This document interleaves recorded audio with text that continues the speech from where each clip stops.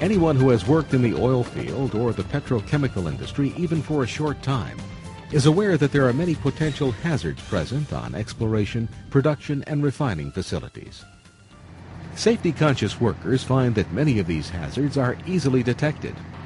Once a hazard is recognized, it is a fairly routine procedure to take the precautions necessary to protect yourself, as long as the proper systems and equipment are in place. However, there is a hazard found on some locations that is not easily recognized. Hydrogen sulfide. Over the years, hydrogen sulfide has killed numerous workers in the oil field and petrochemical industries. Many of its victims were completely unaware that a deadly concentration of the gas was present, since it is invisible and deadens the sense of smell at high concentrations. Unfortunately, many other victims were aware hydrogen sulfide was present and simply failed to take the appropriate precautions.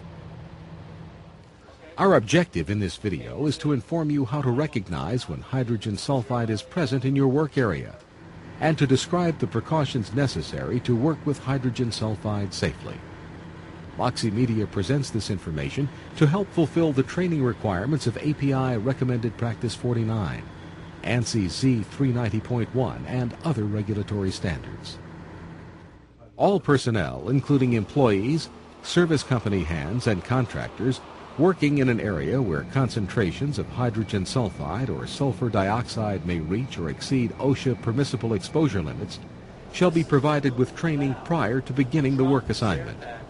Companies are responsible for the training of their own employees by a qualified hydrogen sulfide safety instructor.